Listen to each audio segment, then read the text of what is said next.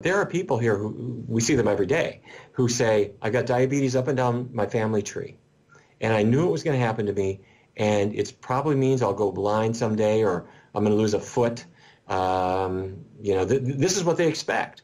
And nobody ever told them the real cause of it. So we explore that cause. And, and, and for your listeners, this is going to be a totally new thing when I say that type 2 diabetes comes from the buildup of fat particles in the muscle and liver cells. They've never heard that before. They thought that they got that from drinking soda. Um, and by the way, I'm not saying soda is health food. It's not. Even if it is Dr. Pepper, it's not health food. but uh, but but it doesn't um, contribute to diabetes. Is that what you're saying? I am saying that the cause of type 2 diabetes is it's the buildup of fat particles inside the liver cells and muscle cells causes insulin resistance. So the insulin doesn't work anymore. And once that happens, if you have a soda or you have bread or anything, your blood sugar is always going to rise because because it, the sugar can't get into the cells. But how the sugar it... was the sugar wasn't the cause; it's a symptom of it. Got it. I want to understand how it causes insulin resistance. Like, go deeper. Okay. So, um, your muscle cells. cells work on glucose. Glucose is a good thing. Sugar is a good thing. Right. In the right. same way as your I car know that as an athlete. Gas, your car runs on gasoline, your cells run on glucose. Mm-hmm. That's why, you know, before a race, what do people do? They want a lot of glycogen in their liver and in their muscle cells, so they're carbo loading leading up to, to that race. Uh, that glucose is all good. The, the only problem in diabetes is the glucose isn't getting into the muscle cells. It's staying out in the bloodstream. Why can't it get into the muscle cells? Because the muscles are filled with fat.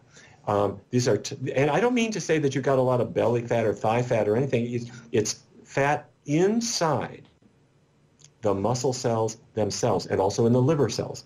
And if the fat builds up, it's like chewing gum in your front door lock. You just can't make your key work anymore.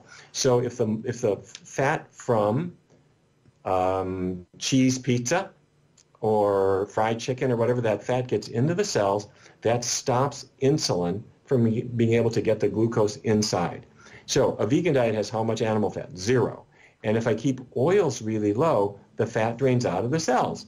And once that happens, then the glucose can get out of the blood into the cell where it belongs. Your blood sugar goes down. Your doctor says, holy cow, this is amazing. Um, we need to back off on your insulin dose.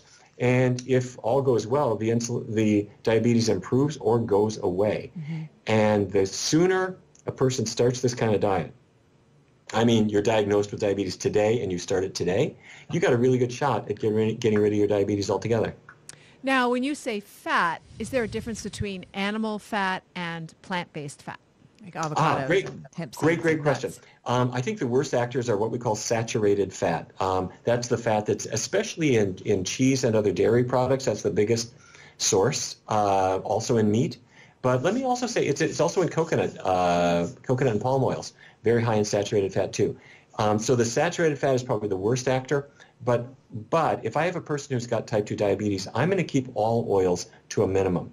Uh, we're going to get rid of animal fats for sure, but I'm going to keep vegetable oils pretty low as well because I want to drain that fat out of their cells, and I also want to help them lose weight. And when they get when they when they're eating grains and vegetables and fruits and, and beans, the weight loss is a lot easier than if it's a guacamole fest every day. You know what I'm talking about?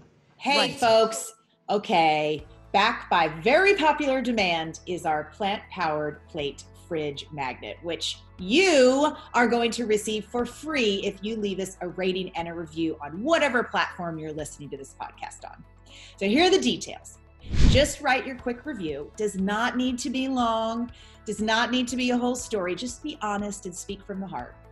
Then take a quick screenshot of the review you wrote and email it to us at podcast at switch4good.org. That's podcast at switch4good.org.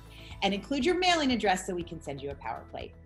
We are doing this because the more reviews we garner, the higher we go in search results, which means more folks will learn about our podcast. So the power is in your hands. Leave us a review, and zoom, zoom, your power plate arrives at your doorstep. So, thank you so much for tuning in today. If we helped you in any way, then click the subscribe button and let's keep hanging out together. We have so much more to share with you. And if you need more information on actually making the switch for good, please visit us at switch4good.org for loads of info. And you can subscribe to our mailing list where you will receive all sorts of super cool gifts, discount codes to our very fave dairy free products and a lifetime of powerful health tips.